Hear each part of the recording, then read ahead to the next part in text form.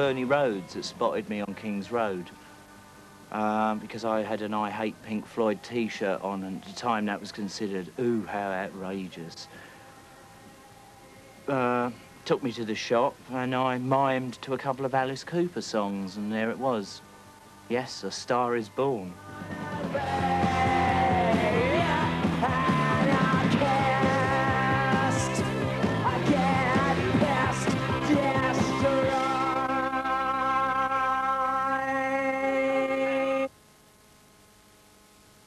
Damn good band we were, to be quite frank, and how right it was that we ended when we did, because it would have been really futile to have continued with it. We all knew that. You know, bad management uh, didn't help none, and the in-house squabbling amongst each, each other. It's just the way it is, and you know, when you like feel like you're running out of ideas, then you must stop and go on to something else, which is precisely what all of us did we were just a mishmash of everything, bunged together in our own little haphazard way. I suppose it, like the Sex Pistols really was the steptoe son of, of, the music business, and and I've more or less continued to be that way. God save the Queen,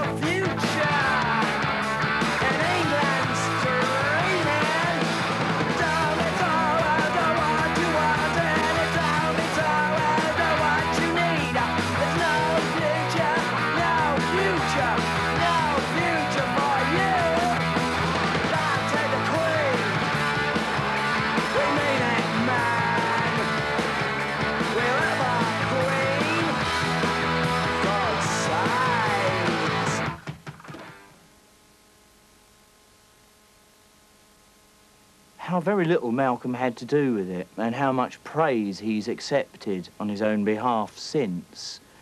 Uh, we wrote the songs, we did all the work, we did the gigs, we led the lifestyle, and he just seemed to have collected the accolades. Which, uh, well, for a certain point as well, he tried to collect the money as well. But I fought that court case and won on everyone's behalf. At that time, culture was very lazy. Uh, what we saw was very blasé. And suddenly, a group like that, that were part of a feeling that was happening on the streets in the King's Road, of which they were just characters of, right, um, decided to express that discontent through my help. He deserves his concrete slippers, but I'm not going to be the one to give them to him.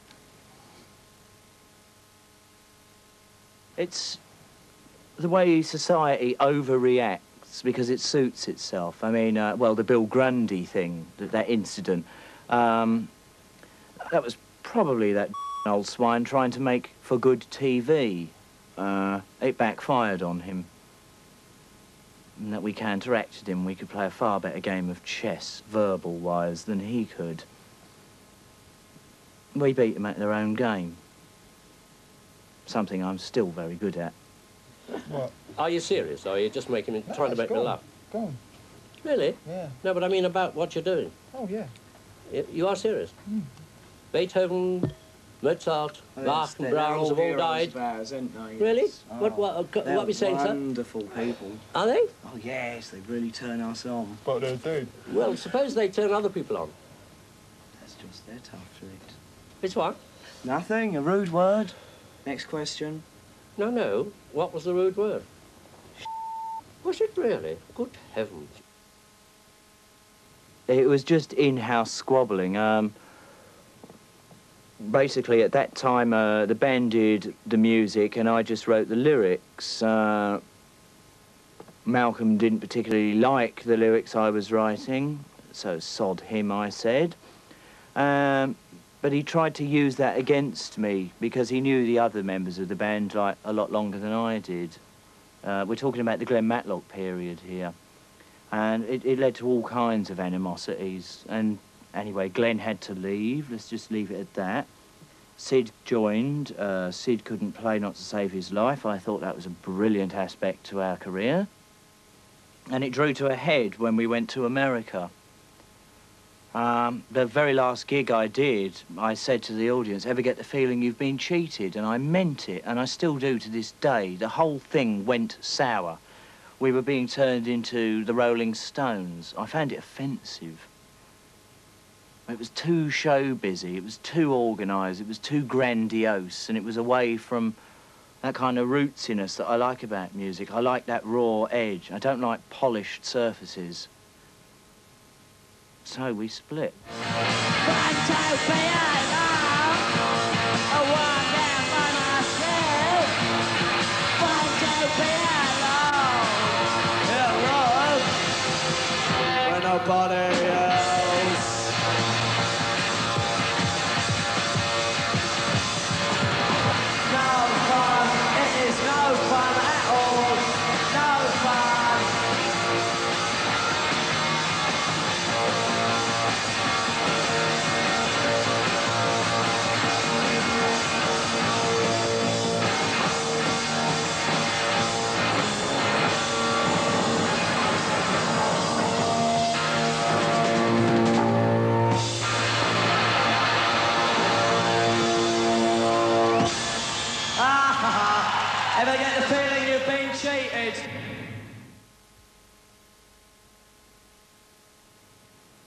Rubbish.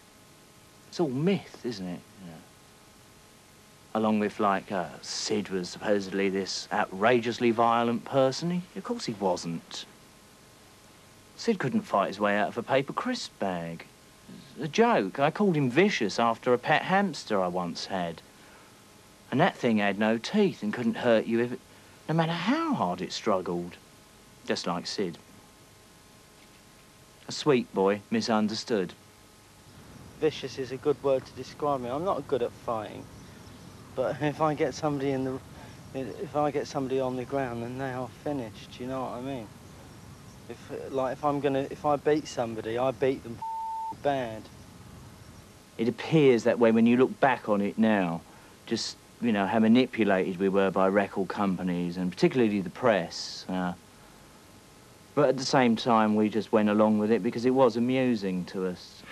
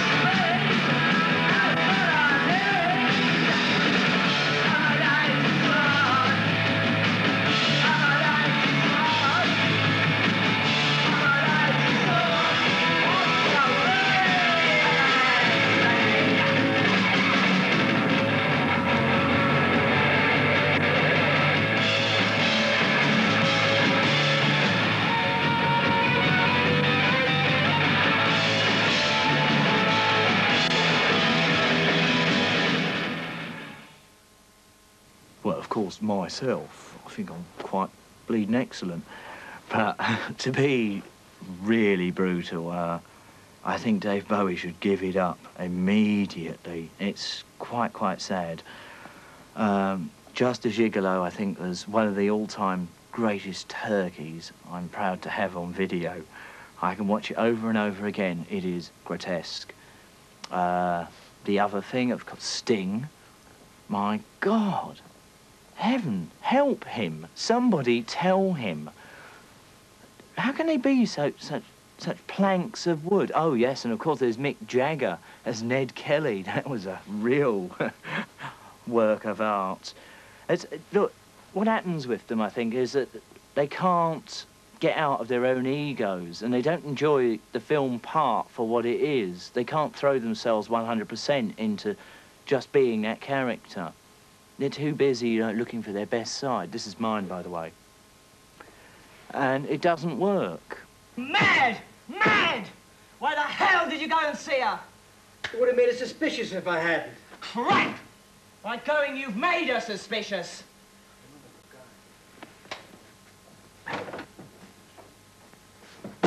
Don't get the balls in uproar. I didn't say a thing. You don't need to. I can see it in your face. You just need to confess.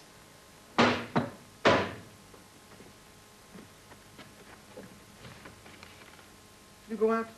And why the hell shouldn't I? Because someone might see you! No one's seen me. What do you expect me to do? Stay here all day on my own? What'd you buy? Just a few things.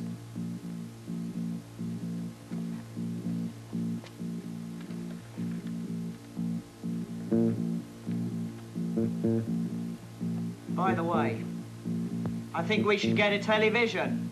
The work that came out of it was quite nice. I mean, I like the film, I do. I, I can still watch it. But it really was too difficult. I, I don't like making movies. I, I gave up immediately. I cannot bear the idea of hanging around for 12 hours a day, just literally sh shaking with nerves, because you do. To just shoot two minutes of footage is, is ludicrous. It's too much pressure. You know, you get very close to a nervous breakdown. And there's a lot to be said also for why good actors have no character. Because they can't afford to, not if that's their career. They get no time to develop themselves as human beings because they're constantly living other people's lives. Now that I've, I found utterly loathsome because I mean the idea of supporting a bank robber, you know, someone who was sort of responsible for leaving the train driver's brain dead and dying, I, I'm sorry, I cannot support that.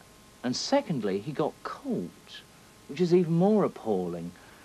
Uh, I can't have that in my life, that kind of failure, that kind of cheesiness. Uh, you know, I, I'm up, way up there. I'm, I do not want to hang around down there with the squalor. This is something Malcolm never ever respected, that working class people do have a sensibility and are very repulsed by things like that. It might sound nice to him in his middle class morality. Oh, it's all so trendy and chic and hilarious, but it isn't really. You know, that could have been my father driving that train. Hello, who is it? I we come to see. I ran up. Here, who is this? An army arriving? Hold on. Hello. Shake hands. Hello. That's Hello, you're the sex Hello. business, are you? Yeah, all right. Thank you, Rocky. You don't look anything like Johnny Rotten. Don't f***ing want to. You know, if you didn't swear like that, you could be another Spencer Tracy. Suppose you want to ask the famous question, where's all the money? Where's it? Yeah. I done it down the boozer, didn't I? Well, how much did you get away with it altogether? What's tons? Two and a half million. Oh, how much have you We're on our way. We're on our way. Don't worry. We'll soon be up with you. We'll soon be up with you. Some in whatever you it. How much have you made, Joe? Well, oh, we've got a lot of you didn't get any. Crime is strictly for mugs. Yes. Get into the pop world, that's the thing to do. Don't go, go around nicking bikes and things like that. Get, get yourself a guitar the Rob honest them legally. It was vile, it was awful. What a non-truth of a movie. There you go, that's an Oxford graduate or undergraduate, whatever he is, uh, making this silly, non-realistic film. You know, you know, I mean, we are still alive, most of us, and there we are being misrepresented in a, in a grotesque way. Uh, I wanted to fight that in court, but again, you know, it's I don't have the money to do this kind of activity. If I did, then I, I would have no doubt won because it, it was. It, it was a degrading, stupid, lying piece of cheesiness, bearing no sense of reality whatsoever. It was his fantasy, you know, probably like the youth he never had. He was trying to live through us. Your mum says you're a nice boy. Any comment? Oh, no, strange. Not my hair. Bloody well.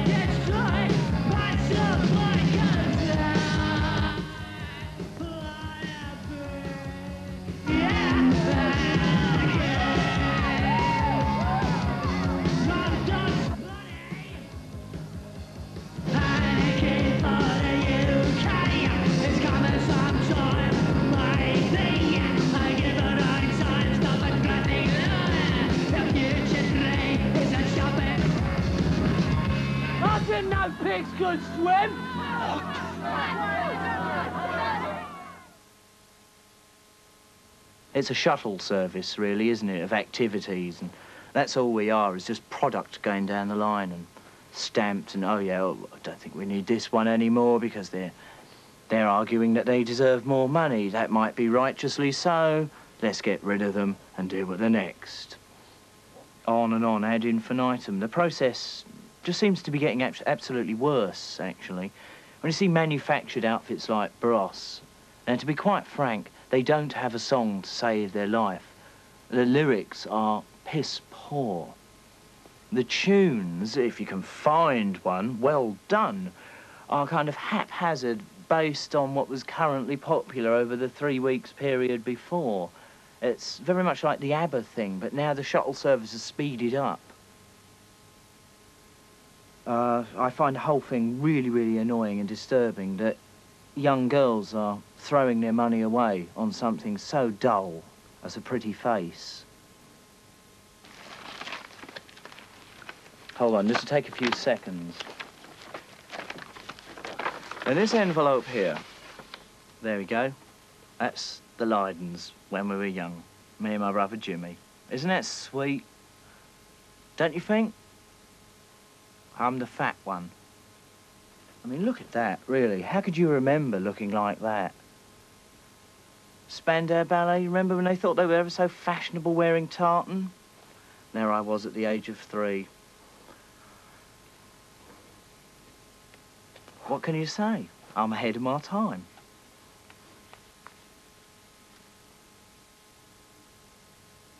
It's different, uh, and it's constantly changing, and it has to. It, it's, uh, it's experimental without being arty-farty about it. It's not designer theatre. It's as it happens. It's a quite natural occurrence.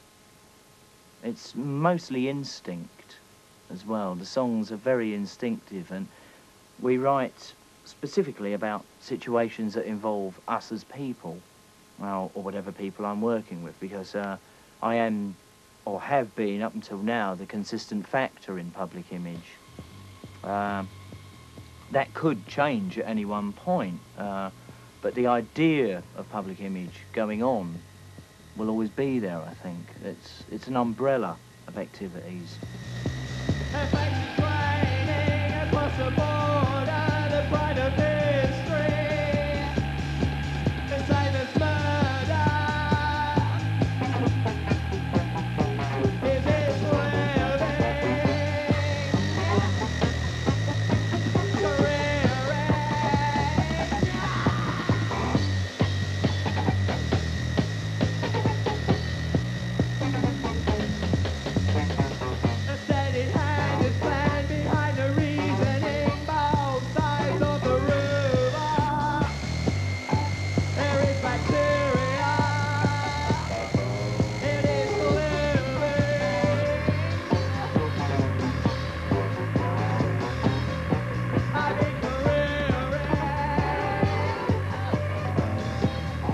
Must have variety, or otherwise it's all completely tedious.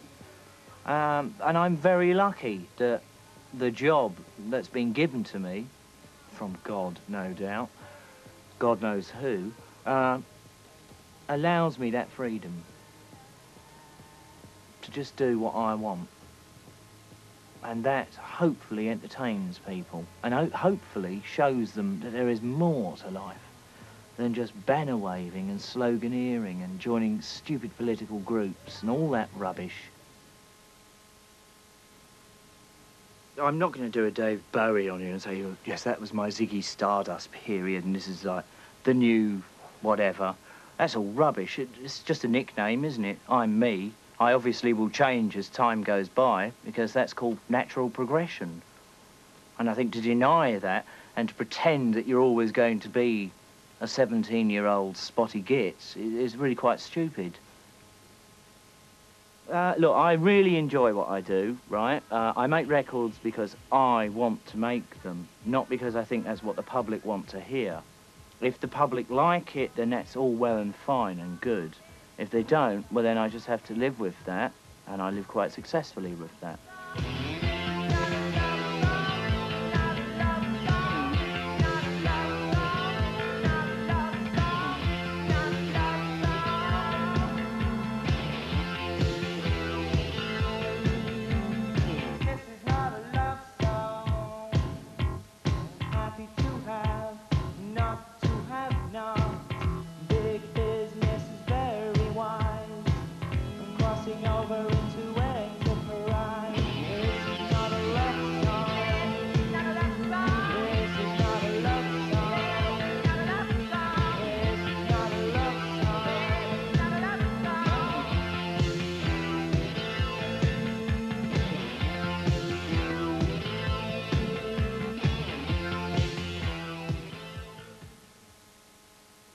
I went there because of the police harassment here. I was sort of forced into it. Uh, it really was quite, quite bad. In, in, in less than three months, I was raided four different times. Uh, they completely smashed my house apart each time. They killed my cat with their bleeding stupid drug dogs, who tore the damn thing to pieces. They tore up the, the mattresses, the carpets wreck the doors, and they keep on doing this. And I thought, ah, look, you know, this isn't healthy. I've got to get out of here. Because uh, I was getting no help, really, from, like, we'll say, the music press. I tell them these things, and they just didn't want to know. So I felt completely left out there in, in the wilderness. So I just packed my bags and sodded off.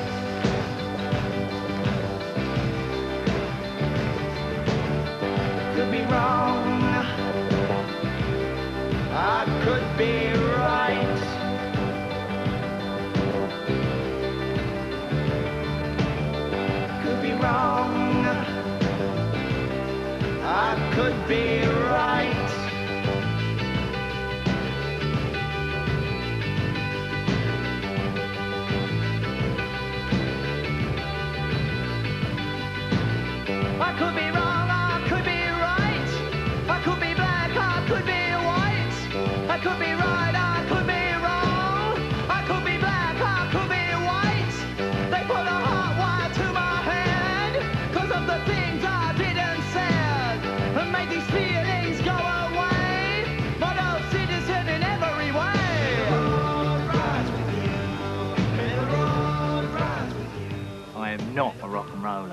I've always despised that term because it just implies commerciality.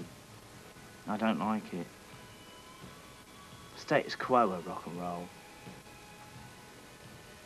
Dana is rock and roll. I'm not.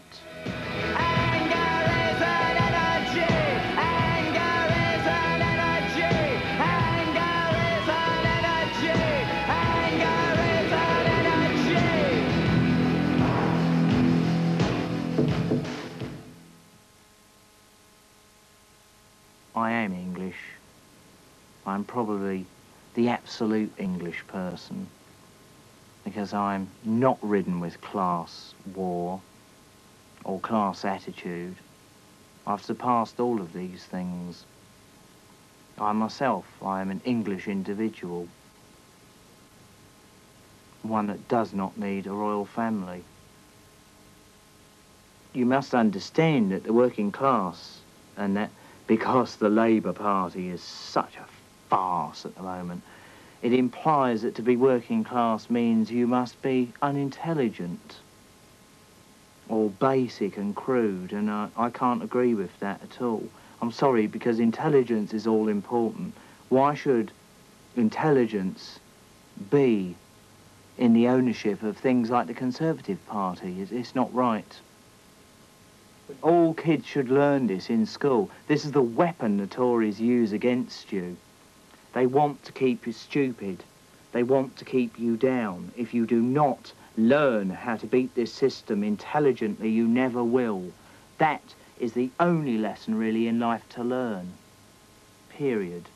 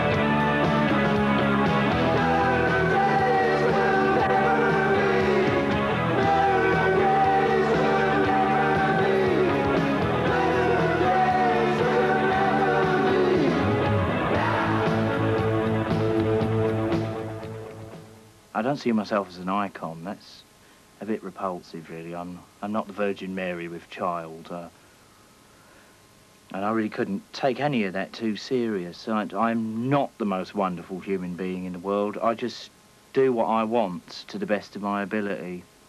Uh, it's, it's good fun to put yourself over as just a huge egotist, but that's all it is. Nobody could really be that bad, could they?